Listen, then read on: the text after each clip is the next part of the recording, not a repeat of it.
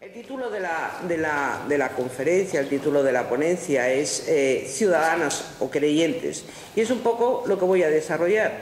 Ciudadanas o Creyentes y eh, tomando eh, para, para, para, mi desdicha como esa disyunción es una disyunción excluyente o lleva caminos de ser una disyunción excluyente en aquello que hemos eh, llamado y que estamos llamando eh, las primaveras árabes.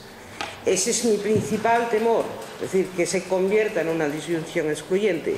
Y para abordar esa cuestión, por lo tanto, lo que voy a hacer es tomar cuál es el tronco real de las democracias y cuál es el tronco real de las religiones y ver realmente si hay vasos comunicantes o si realmente esos vasos están interrumpidos y no son en absoluto comunicantes. Esto es un poco lo que, lo que voy a hacer. Eh, a mí hay un texto, de los muchos que hay, hay un texto que me gusta mucho, es un librito muy, muy pequeño de Amin Malouf, Identidades asesinas, a mí me gusta muchísimo.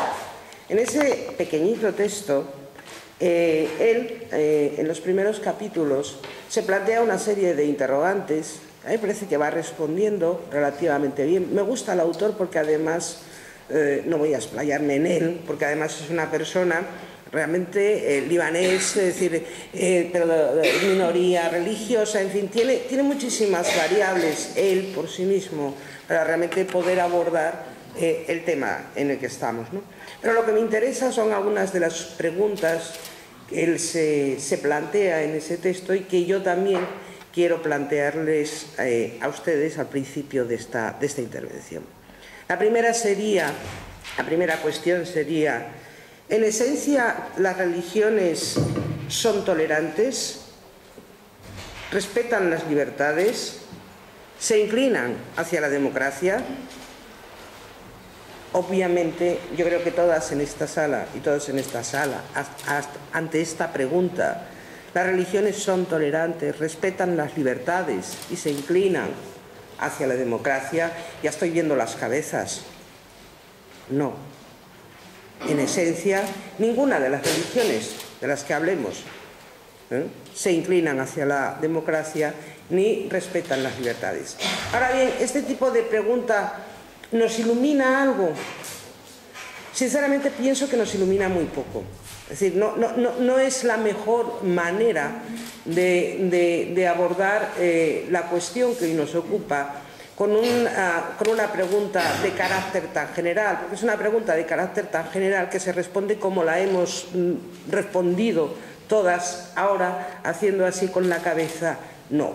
No ilumina nada y ilumina también muy poco si establecemos la comparativa entre religiones, esto es, si establecemos la comparativa entre la religión, entre el cristianismo y la religión musulmana, aunque pensemos que ilumina algo la diferencia entre las dos religiones, tampoco, tampoco clarifica mucho. Es más, yo creo que nos meteríamos en ese toma y daca de él y tú más y tú más. Ante los momentos maravillosos o estéticos o arquitectónicos de la religión católica que pondríamos, por no salirnos del suelo patrio, la Catedral de León, alguien nos pondría pues la mezquita de Córdoba y ante el Escorial alguien nos diría, uy, no, pues la Alhambra de Granada. Eso poniéndolo en plan positivo y poniéndolo en la galería de los horrores, ¿eh? ante la poliginia alguien nos diría, ¡uh, la Inquisición! ¿Eh? y ante, ante la ablación, hoy la hoguera y los científicos. Es decir, es, es, son, es una cuestión demasiado general que, insisto, no ilumina. Es decir, plantearnos cómo son las religiones, sabemos de entrada cómo son todas. Por lo tanto, yo creo que es una de las mmm, preguntas que se hace a mí Maluf en, en el libro, y yo creo que, insisto, no ilumina mucho. Hay preguntas que sí, sin embargo, yo creo que son más clarificadores ante eh, lo que queremos saber o ante el fenómeno en concreto de lo que puedan suponer las primaveras árabes. Y es eh, la siguiente cuestión.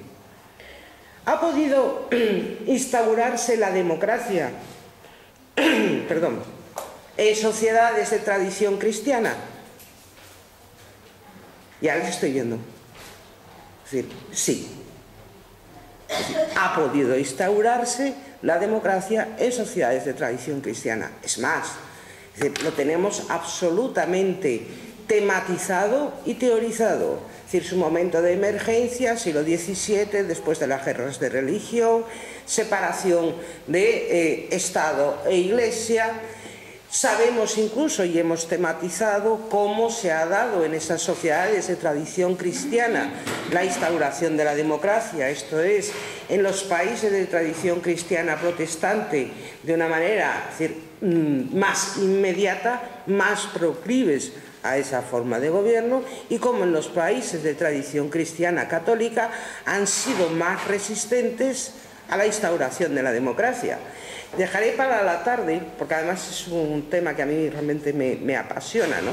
esa, resistencia de los, eh, eh, eh, países de tradición católica a la aceptación de las formas democráticas en, una figura que para mí mm, visibiliza o visualiza toda esa resistencia decimonónica que fue el Papa Pío IX.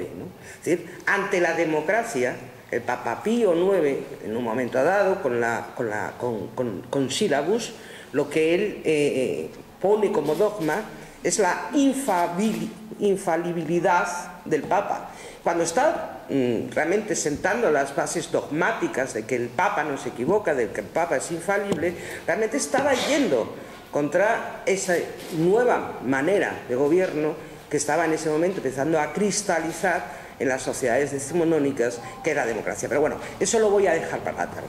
El caso es que sí que es cierto que podemos afirmar, sin riesgo de equivocarnos, que en las sociedades de tradición cristiana la democracia se ha sentado. Ahora bien, traslademos la pregunta. ¿Ha podido instaurarse la democracia en las sociedades de tradición musulmana?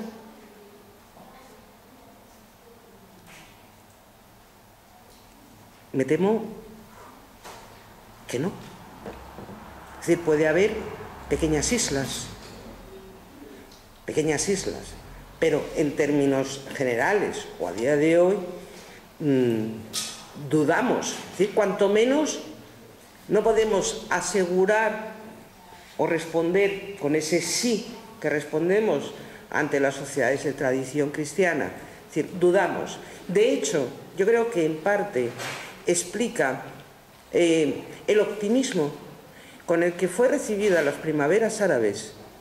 Creo que es la respuesta a esta pregunta, el optimismo con el que se, recibió ese estallido revolucionario en todos los países eh, eh, del norte de África, era porque de alguna manera mm, pensábamos que la democracia se iba a instaurar en los países de tradición musulmana.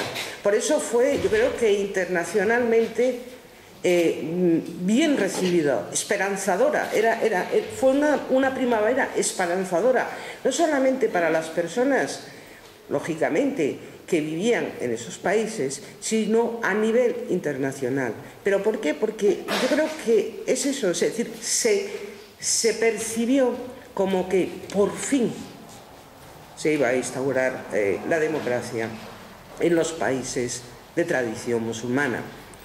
Un año después, ¿qué tenemos? Un año después yo creo que tenemos eh, cierta, cierta ah, pesadumbre, cierta decepción, cierta sensación de que la democracia se ha utilizado, de que la democracia se ha tomado como excusa para que aquellos grupos más organizados de las sociedades civiles de estos países tomaran la batuta. Y para nuestra mm, desdicha, eh, la sociedad civil que había eh, participado yo creo que con verdadera euforia. Es decir, que, estamos hablando de poblaciones muy diversas, muy variadas en cuanto a intereses y que muchas de las personas que salieron a la calle y que salieron a la calle y realmente lucharon contra esos regímenes era porque ciertamente, era porque ciertamente querían que la democracia se instaurara en sus países. Ahora bien, de toda esa sociedad civil, la desdicha es que la parte más organizada de esa sociedad civil eran grupos fundamentalistas religiosos. De tal manera que un año después, realmente, esa organización de esos grupos fundamentalistas religiosos son los que de alguna manera están tejiendo la audidumbre de lo que está sucediendo en este momento y lo que imprevisiblemente tampoco hay que ser excesivamente, decir, mm, todo es gradual, nada se hace de la noche a la mañana, pero de lo que previsiblemente va a condicionar los años venideros, no sé en qué margen, pero realmente están ahí. Y en este, en este momento esos grupos fundamentalistas religiosos parece que de alguna manera están siendo el cemento, ¿eh? el cemento ineludible con el cual dialogar o transitar y, por supuesto, eh, criticar. Y este yo creo que es el, panorama, eh, modestamente, eh, que, yo, que, yo, que yo voy a trazar. Y para ello, una vez dicho esto, a ver, una vez dicho esto, voy al, al núcleo de lo, que, de lo que voy a desarrollar nada más que es esta diapositiva. O sea, de hecho no es, mm, no es ninguna diapositiva, es que como sabía que aquí no hay encerado, mm, pues entonces eh, utilizo eso, como ven, más breve imposible. Utilizo eso a, modo, de, a modo de encerado. ¿Qué es eh, lo que quiero plantear? Lo que está ahí puesto. Lo que está ahí puesto es la columna vertebral de lo que es una democracia y la columna vertebral de lo que es una religión. Es decir, de lo que es, sobre lo cual se asientan los pilares en los cuales se asientan. Si observamos esa tríada de la democracia y esa tríada de la religión, curiosamente son muy parecidos, por no decir casi casi iguales. Es decir, mm, institucionalidad, ritos, derechos, normas, principios, preceptos. Es decir, eh, eh, apenas hay eh, una gran... ¿Lo ves? No, no, yo tampoco, tampoco puedo opinar. No hay una gran diferencia. De hecho, si nos vamos al lenguaje común, al lenguaje de uso común, institucionalidad y ritos no deja de ser aquello en lo que alguien o algo con lo que te identificas. Derechos y normas, las normas marcan mecanismos de conductas, los derechos marcan mecanismos de relaciones, los preceptos son guías y los principios son guías. O sea que, mm, en serio, en principio y de manera así a bote pronto, no parece que haya una gran diferencia entre la columna vertebral de una democracia y la columna vertebral de una religión oh Dios, da dos mundos, da lugar a dos mundos totalmente diferentes. No tienen nada que ver el uno con el otro. Y eso es lo que eh, intentaré eh, desarrollar. Voy a empezar con la columna de la democracia, lo que es esa columna ¿no? de la democracia. ¿Qué es la institucionalidad? Claro, es cierto que la institucionalidad tiene ritos, por supuesto que los tiene, eso se parece mucho a la religión, pero ¿qué entendemos ¿eh? como columna eh, vertebral de una democracia, ¿por qué entendemos por institucionalidad? Pues por institucionalidad entendemos algo que repetimos y que muchas veces eh, enarcamos y, y la ceja la subimos y nos lo creemos a medias, pero es increíblemente trascendente, que es la separación de poderes. Eso es institucionalidad. Esto es un marco claro del poder ejecutivo un marco claro del poder legislativo y un marco claro ¿eh? del poder, eh, Dios mío, judicial. Eh, judicial. Ahora estaba pensando. Y absolutamente independientes. Es más, somos capaces de aquilatar, es decir, es, es uno de los grandes test de la democracia, somos capaces de aquilatar que si esa independencia no se preserva, que si esa separación de poderes no es, no, no es tal, Estamos ante, ante bueno, eh, democracias que están poniendo en riesgo eh, pues, pues, su pilar básico, es decir, el núcleo de ello. Es la institucionalidad, por lo tanto es la separación de poderes. Y es más, incluso hemos ritualizado esa separación de poderes. Piensen, si no, en cómo ritualizamos año a año eh, la apertura del Congreso. No llegamos al boato de Inglaterra. ¿Recuerdan cómo, cómo se hace en Inglaterra la reina con ese manteo?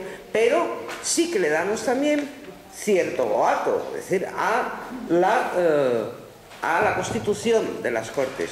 Cierto que tenemos también ritos para eh, la constitución del año judicial. Es decir, hemos ritualizado bastante en esa institucionalidad es el nervio nuclear de, toda democracia. ¿no? Respecto de los derechos, ¿qué son los derechos? Es decir, mm, mm, hablamos mucho de ellos, pero ¿qué son los derechos? Los derechos, lo dije antes, los derechos determinan las relaciones, determinan las relaciones entre los seres humanos, determinan las, las, relaciones entre los individuos, bajo una idea rectora básica y trascendente, que es el reconocimiento de individualidad y de autonomía de las personas. Y los derechos lo que hacen es establecer ese marco de relaciones en torno al reconocimiento, insisto, de la individualidad. Y esto es muy importante, ¿eh? el reconocimiento de la individualidad.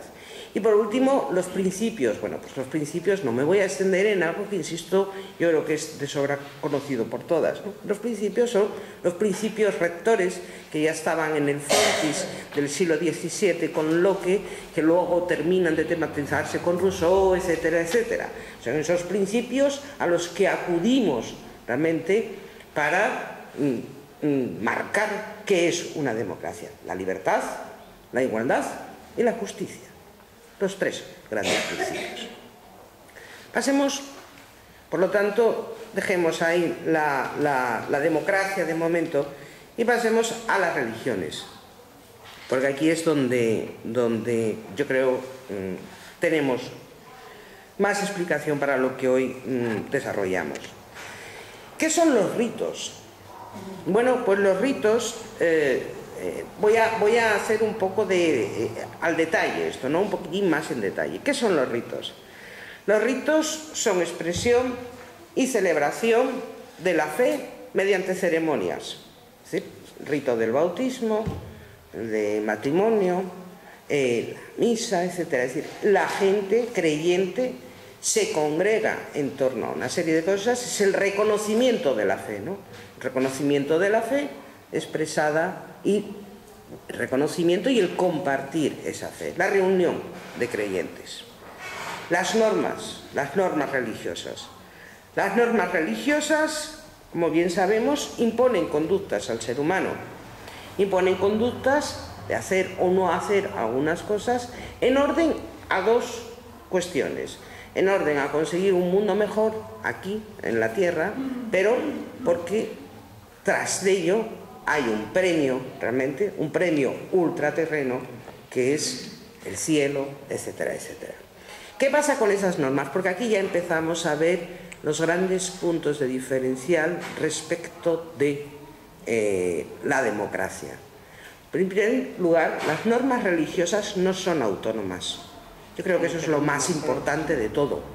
No son como los derechos que hablan a la individualidad de las personas, que hablan a la autonomía de los sujetos. Las normas no son autónomas, son heterónomas. ¿Qué quiere decir que una norma es heterónoma? Que viene dada por Dios. Es decir, decir, no, decir, las normas religiosas no hablan a la autonomía de los sujetos, con lo cual tendríamos ya una primera conclusión, que a mí parece que es muy eh, eh, trascendente, y es que las religiones realmente nunca podrán expresarse en el lenguaje de los derechos. Nunca. suena muy duro, pero es que no es eh, eh, su competencia. Nunca podrán expresarse en el lenguaje de los derechos. Y aquí tenemos un problema muy serio, ¿eh? cuando ya partimos de esta, de esta situación. ¿Qué son los preceptos? A mí esto es lo que más me gusta los preceptos.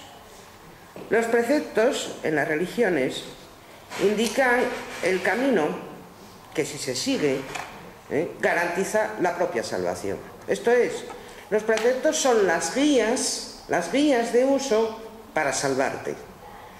Los preceptos de las religiones, eh, a diferencia de lo que pudiéramos pensar, son muy pocos. En el catolicismo, cinco. En el islam, cinco. Las normas religiosas son muchas y muy abundantes, pero los preceptos, que son, insisto, las guías de salvación, esto es, lo que todo creyente debe hacer para salvarse, son escasamente cinco. Se los recuerdo. Se los recuerdo porque eh, me vienen bien para lo que quiero desarrollar después. Los cinco, además, casi nos van a salir a, todas, por lo que hace referencia a los preceptos del catolicismo, de corrido. Es decir, no, lo tenemos aquí en el hipotálamo. Primer precepto. Misa entera. Celebrar la Eucaristía. Mira que eres decir misa.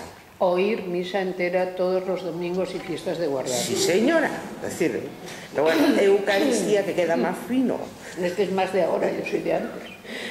Celebrar la Eucaristía entera todos los domingos y fiestas de guardar. Segundo precepto. No pienso seguir en Bien.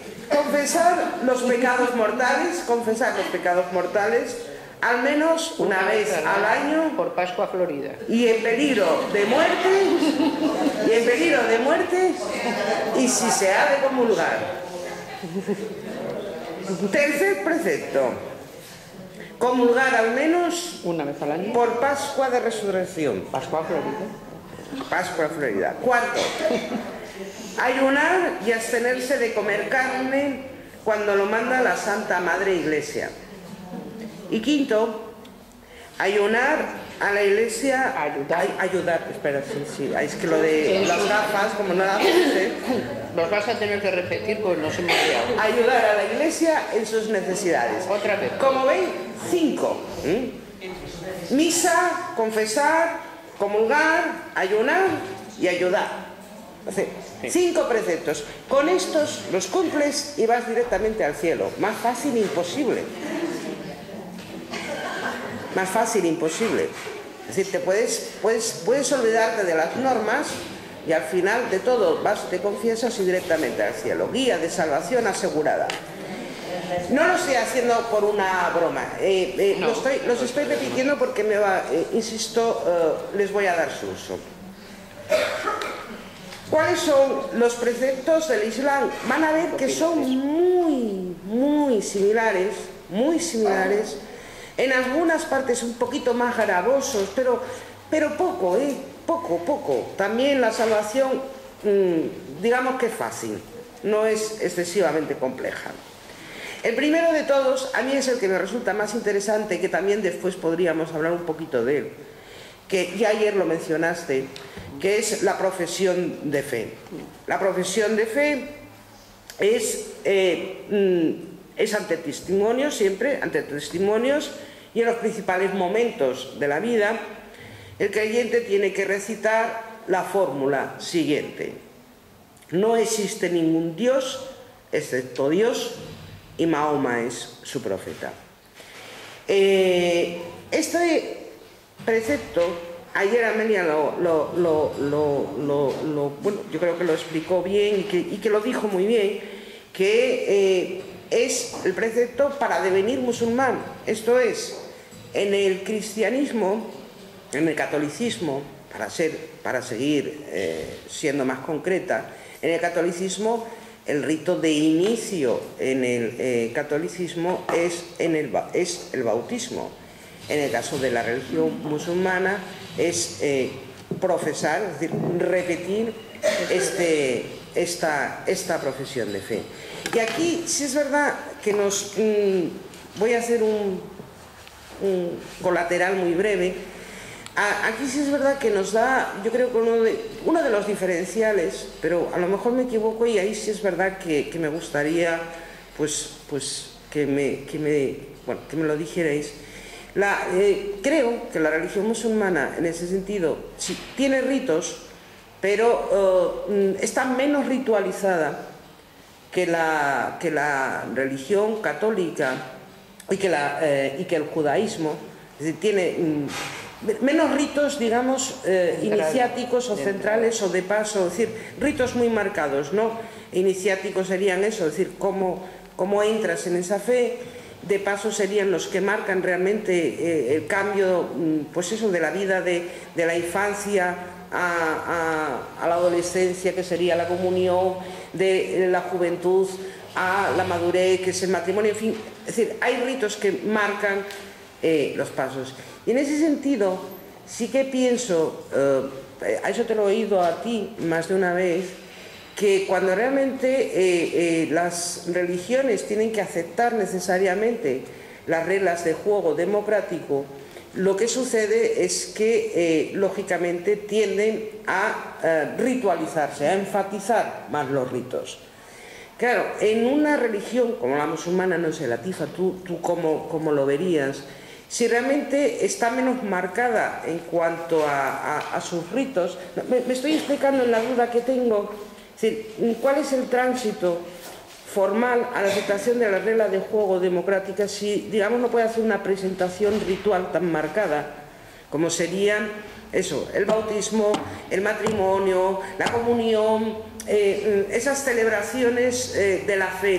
¿Me estoy explicando? Las tiene, ¿Mm? las tiene. Eh, por eso, que podríamos bueno, hablar un poco de ello, ¿Mm? porque es, es, importante que una religión tenga, sea capaz de elevar a ritos lo que lógicamente en el tránsito a la democracia no puede hacer, que es exacerbar la norma.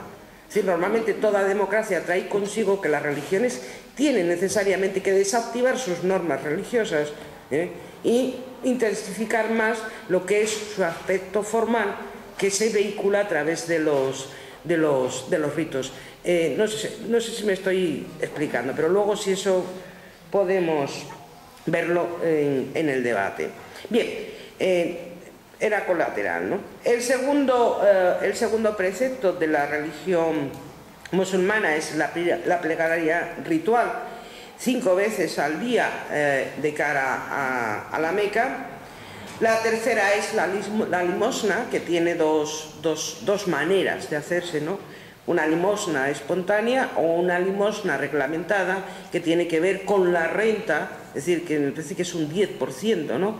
de, de, de de, la renta. Eh, la cuarta, el cuarto precepto sería el ayuno durante el mes de, de Ramadán y el quinto, la peregrinación a, a, la, a la Meca. Bien, me interesa que me he parado en los, en los preceptos porque yo creo que nos sirven para desactivar algunas de las falsas polémicas que en este momento eh, eh, emborrona eh, la claridad de las cosas. Por ejemplo, en ese, en ese toma y daca del y tú más, cada vez que queremos abordar la cuestión del de, de pañuelo, voy a ir a ese, a ese tema horrible del pañuelo, ¿no? que siempre nos pone en, en disputa y parece que nunca llegamos a acordar sobre nada. En ese, eh, cada vez que sale la polémica de, del pañuelo, sobre todo cuando sale aquí en España, inevitablemente alguien te va a salir con y la monja. Es decir, ¿pero por qué sois tan críticas con el pañuelo si eh, ahí tenemos a las monjas que también van tapadas? Es decir, inmediatamente la manera de invalidar eh, tu posición en contra del pañuelo es sacarte siempre la monja a relucir. Claro, es, mmm, y se lo he escuchado no a personas, sino se lo he escuchado a feministas ¿eh? Eh, muy solventes que inmediatamente ponen en comparación la monja con la mujer que lleva pañuelo. Bien, me interesa pararme aquí dos minutos. No, es lo mismo. Para nada. Y no es lo mismo por una razón muy sencilla, por eso me he detenido en los preceptos. Una monja lo que hace es que los preceptos religiosos los lleva a modo de vida. Los preceptos religiosos Es decir, cómo ordena su vida de acuerdo a los preceptos religiosos. Y la norma de esa monja, curiosamente, es increíblemente específica. Es tan específica que todas las congregaciones religiosas tienen una regla propia que llevan a muy buen honor que se diferencie de otra regla religiosa. Esto es, las normas de las monjas son las reglas. Y la regla carmelita no se parece en nada a la regla concepcionista, ni a la regla salesiana, ni a la regla franciscana. ¿Qué viste una monja carmelita? Es responder a la norma, a la regla de las carmelitas. Y el manto, la túnica color jacinto es porque es de la regla concepcionista, con lo cual, con lo cual, no solamente es que las monjas hayan hecho de los preceptos un modo de vida, sino que ni siquiera por ser monjas tienen una conducta común, porque su conducta viene determinada por la regla en la que profesan. ¿Me estoy explicando? Porque mmm, mientras que una mujer velada no tiene una norma específica, una mujer velada, una mujer con pañuelo, afecta a todas las mujeres, a todas, no a las que hacen de los preceptos religiosos un modo de vida. No, no. Es una norma de conducta para todas las mujeres. Por lo tanto, no caigamos, no caigamos, pero además tenemos cierta proclividad eh, eh, como feministas a veces a caer en, falsas eh, polémicas y frente al pañuelo, Dios, no caigamos en, poner a a las monjas porque no son en absoluto parecidas. Bien, respecto de la religión hay que decir además otra cosa más, los preceptos, esos preceptos que hemos estado enumerando, curiosamente son asexuados. A mí me parece que esto es eh, increíblemente, a mí mm, mm, mm, me llama muy poderosamente la atención. ¿no? Los preceptos son asexuados, esto es, son iguales. El camino de la salvación, por decirlo así, la guía de la salvación es la misma para mujeres que para varones. Sin embargo, las normas religiosas no son en absoluto asexuadas, es más, las normas religiosas son normas religiosas porque son increíblemente sexuadas. Esto es, son normas que ejemplifican conductas diferenciadas para mujeres y para varones. Bien, dicho esto, veamos, veremos cómo realmente en una democracia, una democracia permite el trasvase de, los creyentes a la democracia. Sin embargo, la opción contraria no es posible. Dicho de otra manera, en un mundo de ciudadanas y de ciudadanos, los creyentes son posibles. En un mundo de creyentes, la ciudadanía no existe. Y esa es la cuestión en la que estamos. Y esa es la cuestión sobre la cual hay que observar realmente las primaveras árabes. Y ya de una manera muy breve, para ir a la agenda concreta de las mujeres en las primaveras árabes. Eh, digamos que la agenda básica de la igualdad, ya lo he dicho muchas veces, con lo cual yo creo que las que me habéis oído más de una vez, pues, pues es los cuatro, de nuevo, cuatro, cuatro pilares básicos son la agenda de la igualdad la educación, los derechos educativos, los derechos económicos, los derechos en salud sexual y los derechos políticos. Como bien sabemos, a lo largo desde el siglo XIX, esa agenda de la igualdad ha empezado por los derechos educativos y por los derechos, y por los derechos económicos. Es decir, las sufragistas, es decir, su primera vindicación es una vindicación educativa y también una vindicación económica, salir de la menoría de edad legal, poder heredar, etcétera, una vindicación económica. Los derechos en salud sexual tardaron, casi diría, un siglo más en poder, en poder cristalizar, hasta tenemos que llegar a los años 70 del 20, del siglo XX, para realmente poder hablar de los derechos en salud sexual y reproductiva. Y curiosamente, eh, digamos, en esta última fase de agenda, han sido los derechos políticos, no en el sentido de ciudadanía, un voto, sino en el derecho eh, de representación de las mujeres en el espacio de lo público político, tematizados a través, en su momento, de lo que fue la petición de cuotas o más concretamente, a día de hoy, en lo que es la vindicación de la paridad. Pero digamos que uno de los últimos logros de la agenda feminista y de la agenda de la igualdad ha sido eh, realmente eh, la paridad.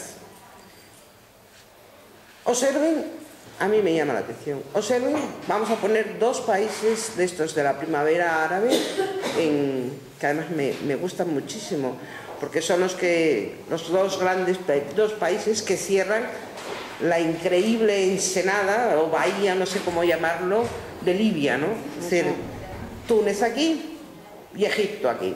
Bueno, visto desde ustedes, desde el otro lado, ¿no?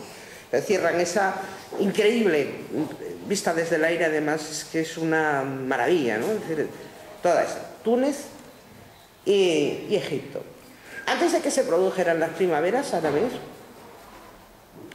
la agenda de estos dos países caminaba por sitios absolutamente, vamos, mm, Túnez estaba y está a la vanguardia de esa agenda de la igualdad, y Egipto ¿eh? ni siquiera tenía consolidados esa primera agenda educativa.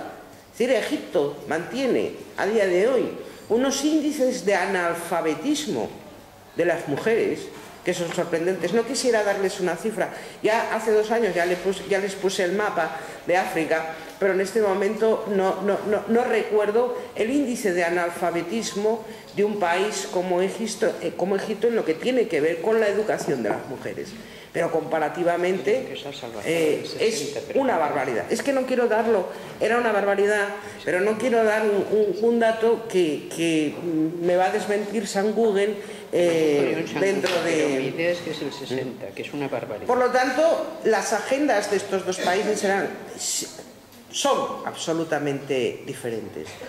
En términos de, eh, de derechos sexuales y reproductivos, pasamos de un país como Túnez, que tiene ley de aborto, a un país como Egipto, ¿eh? que ampara, ampara la práctica de la ablación. ¿Eh? Ahí es nada. Es decir, son agendas, insisto, absolutamente diferentes. Y la vindicación de las cuotas y la paridad es decir, la representación de las mujeres en, aquel momento en la vida ah, política de Egipto era irrisoria, mientras que en Túnez, bueno, estaban en unos niveles relativamente... La agenda de Túnez en muchos tramos se parecía a la agenda europea. ¿Qué sucede ahora? Sucede algo que a mí me deja perpleja. No se está eh, abundando, por supuesto, en los derechos educativos, con las primaveras árabes. No oigo a ninguno eh, eh, de los líderes políticos abundar en los derechos educativos. Por supuesto, no oigo nada respecto de los derechos sexuales y reproductivos, pero nos están presentando una panoplia casi paritaria 44%. de mujeres. 44% casi una panoplia paritaria de mujeres en lo público político. ¿Recuerdan hace unos meses cuando Túnez nos sorprende con las listas cremallera? O cuando Egipto eh, empieza a visibilizar a mujeres. ¿Qué significa esto? ¿Cómo es posible? ¿Cómo es posible que en la agenda europea y mm, digamos de ese, voy a llamarlo así, odio esta palabra, decir del occidente, aquella parte de la agenda que nos está siendo más dificultosa, que sigue produciendo resistencias, como es la aceptación de las cuotas y la paridad, sin embargo se aborde con absoluta, con absoluta naturalidad en los países de la primavera árabe. ¿Qué está sucediendo ahí? ¿Qué caramelo envenenado? ¿Qué, qué maquillaje nos están lanzando? Porque no deja de ser un maquillaje. Es como decir, uy, estos les preocupa mucho lo de las mujeres. Tú pon mujeres para que se tranquilicen. Tú pon que con esto cuela. Que con esto cuela. Por lo tanto, tenemos que estar vigilantes, porque puede que veamos de repente que nos sorprendan con cremalleras, con representaciones casi paritarias o sin llegar a casi paritarias, con aceptaciones de cuotas en muchos de estos parlamentos, y realmente lo que nos estén colocando sean mujeres que realmente van directamente en contra de la agenda de la igualdad. Por, otra parte, un fenómeno no desconocido para nosotras, puesto que buena parte de eh, los países en América Latina también están conformados sus congresos así. Es decir, seamos eh, vigilantes. Y es un poco lo que quería comentar. No, de momento hasta la tarde no tengo más. Muchas gracias.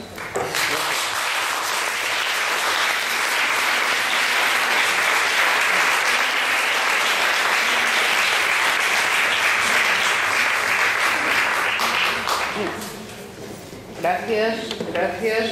Tenemos, podemos disponer hasta la pausa de casi 25 minutos para desarrollar cuestiones. Yo anotaré las palabras y con todo yo tengo alguna, eh, alguna cuestión que, bueno, mientras sobre el asunto de los ritos, ¿no? todas las religiones, absolutamente todas, administran los ritos de paso.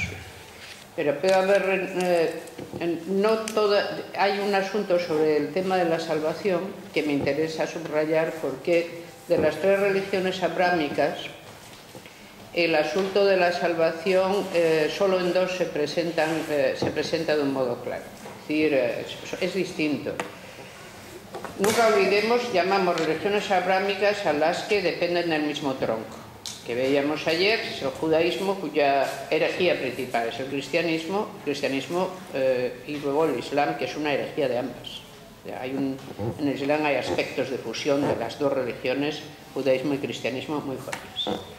Entonces, para el judaísmo estricto no hay vida eterna. Es una cosa que tenemos que tener clara. El judaísmo no es una religión inclusiva, les recordaba ayer, uno no se convierte al judaísmo, una sinagoga ortodoxa no dejará que alguien se convierta al judaísmo y si alguien se ha convertido al judaísmo lo ha hecho en una sinagoga heterodoxa donde han perdido hace un rato el norte y están haciendo ya cosas muy creativas. Porque judíos se nace. Es decir, y como uno nace es del tronco de Abraham directamente, se supone. Por tanto, se es judío, con independencia de que luego se practique o no la religión. Pero a ese pueblo, su Dios en particular, y solo a ese pueblo, le ha hecho una promesa. La promesa es, tendrás una descendencia tan numerosa como las estrellas del cielo y las arenas del mar. Y nunca te acabarás. Todos los pueblos de la tierra desaparecerán y tú permanecerás siempre que mantengas la fidelidad a mí, que soy tu Dios. Esa es la promesa. Por lo tanto, el, judaísmo es una religión, primero, no inclusiva y dos, inmanentista. Esto es, la promesa no es que tú te vas a ir al cielo, no, no, tú te vas a morir, como todo el mundo. Y la muerte es la noche eterna, nada hay en la muerte. Pero ¿qué pasará? Durante tu vida, si tú cumples, tendrás suerte, las cosas te saldrán bien, tendrás buenos hijos, no se te morirán, te irá bien con ellos, a tus hijos las cosas les saldrán bien, Verás nacer a tus nietos y los verás crecer y verás cómo se encaminan a tener una buena vida. Porque yo ya ves, soy tu Dios y te digo que te protejo a ti y a tus descendientes. Por lo tanto, tú cumples y la promesa de Dios es yo te protejo a ti y a tus descendientes. Y tu vida será la vida del justo sobre la tierra.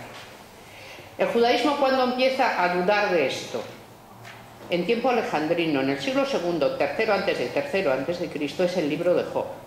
Y el libro de Job es una duda absoluta de que esa promesa pueda cumplirse. ¿Cómo que los días del justo sobre la tierra son felices? Conozco a muchos, justos que no viven una vida feliz. Y el libro de Job es un interrogante terrible sobre toda la seguridad que tiene el judaísmo de que eh, la estructura profética le ha dicho la alianza con Dios que asegura la felicidad.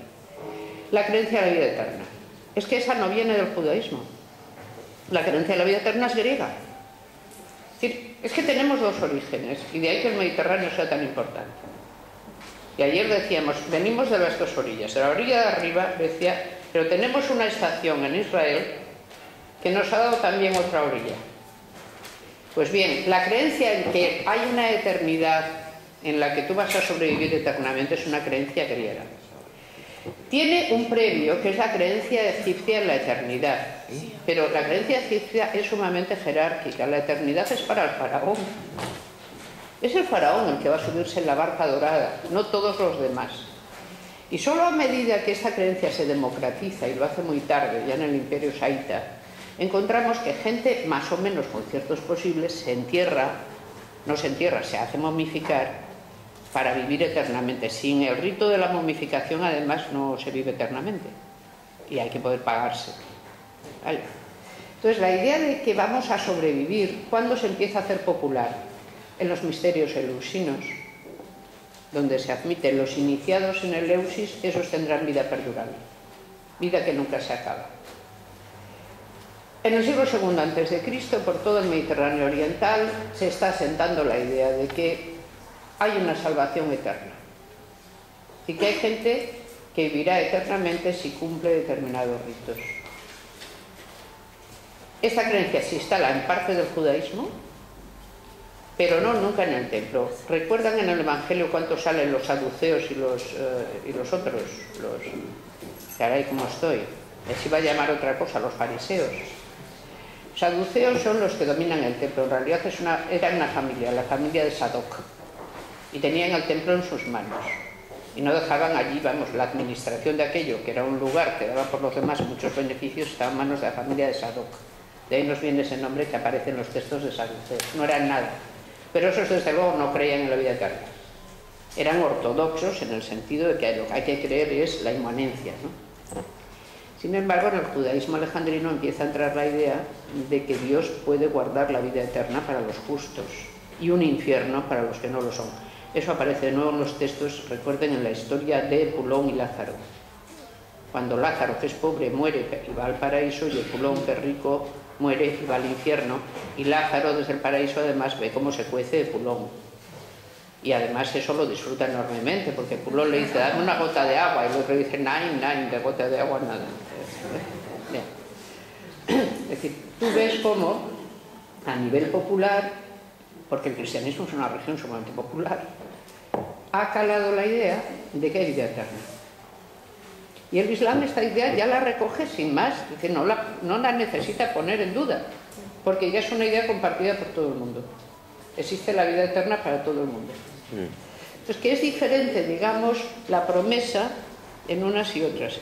Hay religiones cuyos preceptos sirven para alcanzar la vida eterna, que son cristianismo e islam, pero en el judaísmo tú lo que alcanzas es la felicidad terrenal y la continuidad del pueblo. Eso es lo que se alcanza al cumplir los preceptos. Y solo algún tipo de judaísmo, no especialmente ortodoxo, cree en la vida eterna individual. Muy poco. Muy pocos judaísmos. Luego todas estas religiones están para adentro fragmentadas. Es decir, el Islam tiene su fragmentación, el cristianismo tiene una fragmentación asombrosa, pero el judaísmo también está fragmentado. Es decir, luego hay observancias distintas. ¿no? Esto por un lado. Dos, los ritos de paso. Es cierto que el Islam tiene como rito de entrada simplemente la enunciación del símbolo de la fe. No, hay más Dios que Allah, etc. Tres veces. Y queriendo decir lo que se dice, es decir, que si lo haces así medio en broma no vale. No, no, pero es, importante porque los ulemas han aclarado esto. Tú que si no, aquello podría ser mucho más complicado todavía porque es una religión que prevé que no te puedes salir de ella. ¿eh? Eso es apostasía y está condenada con la muerte, que no está mal. Es decir, cualquiera te puede matar.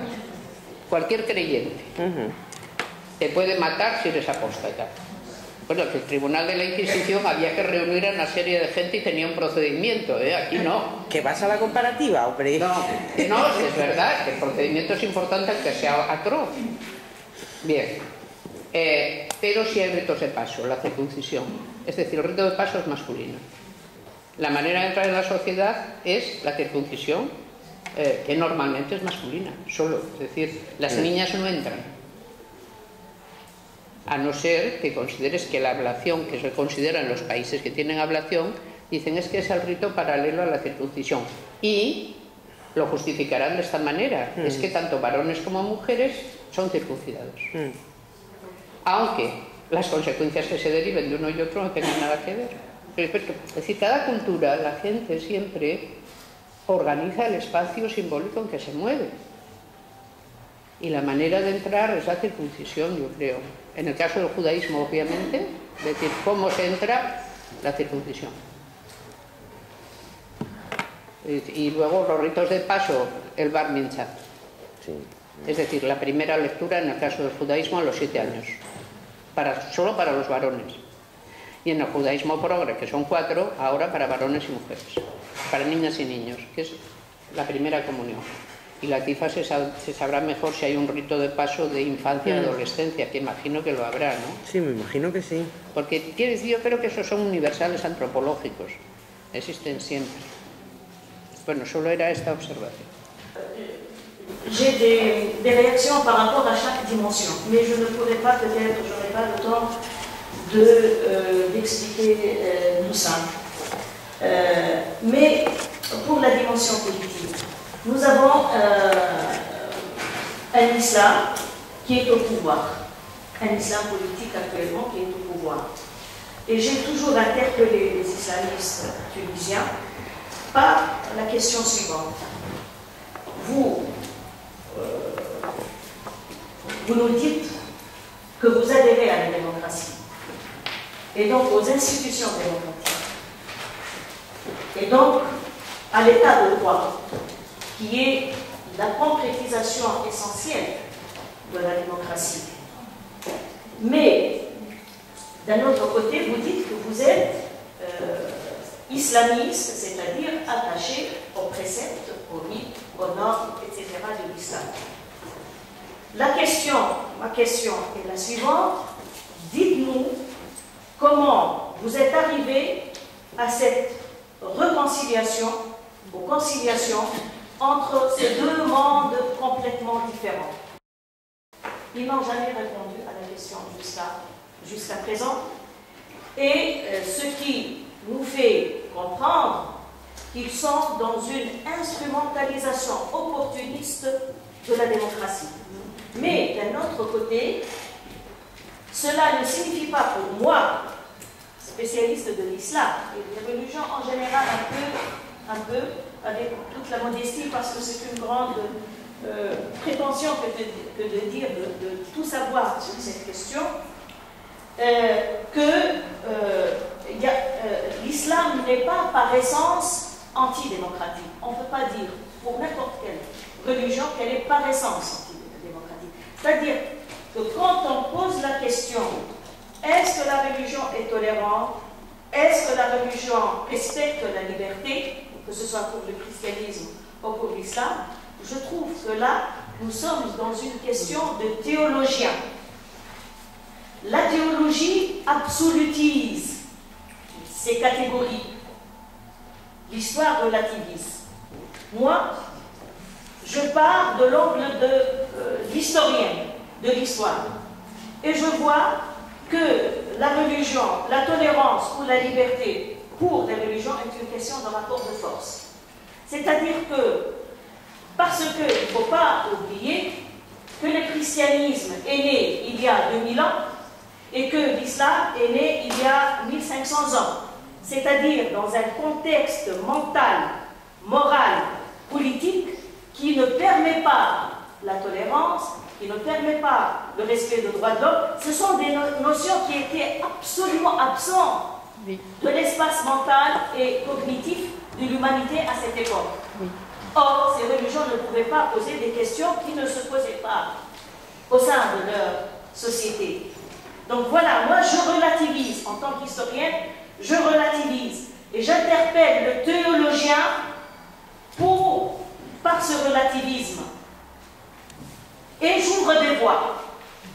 Donc, je me permets d'interpeller les islamistes pour leur dire que votre situation actuellement n'est pas légitime.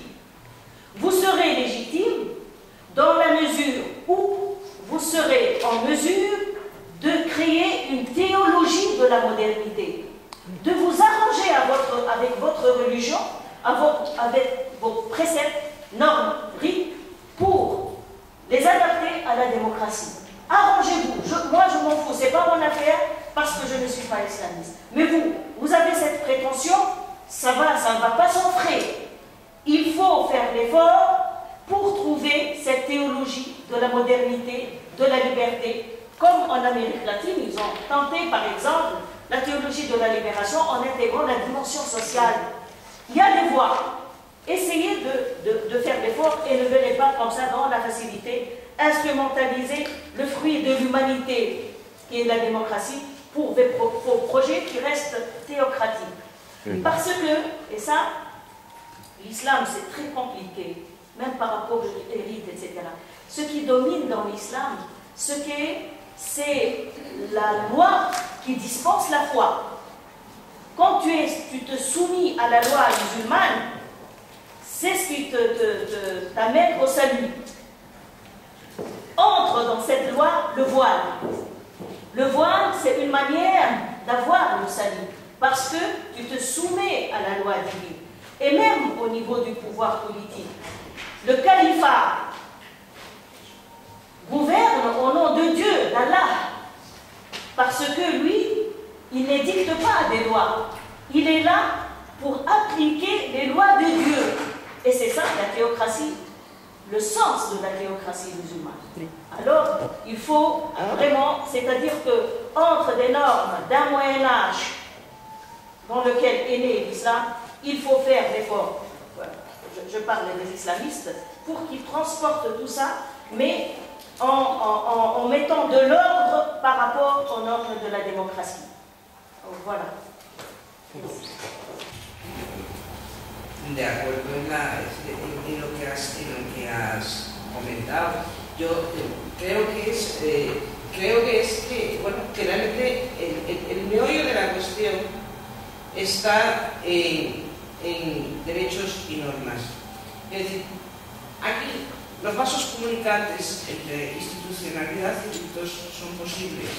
Es más, desde eh, el punto de vista eh, de la sociedad católica, en este caso española, podríamos decir que los asumimos a día de hoy con bastante naturalidad. Esto es, pongámonos en el puente de diciembre, estoy hablando de una cosa local, local, pero el puente de diciembre disfrutamos de los ritos religiosos que nos garantizan la, la fiesta el 8 de diciembre y del rito laico que nos garantiza la fiesta el 6 de diciembre porque celebramos la Constitución.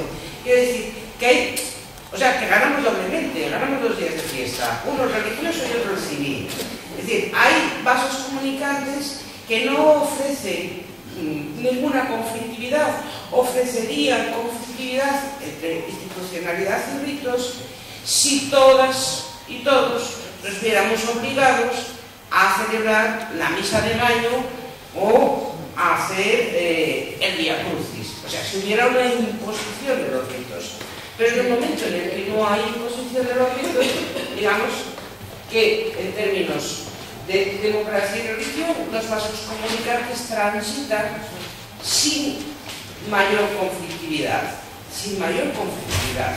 ¿eh? Eso no quiere decir que después eh, eh, mantengamos nuestros puntos críticos ante la exaltación de la Semana Santa o como se vive determinadas fiestas religiosas. Pero yo, sinceramente, no me a ir puntos conflictivos y puntos que no puedan ser fácilmente transitables.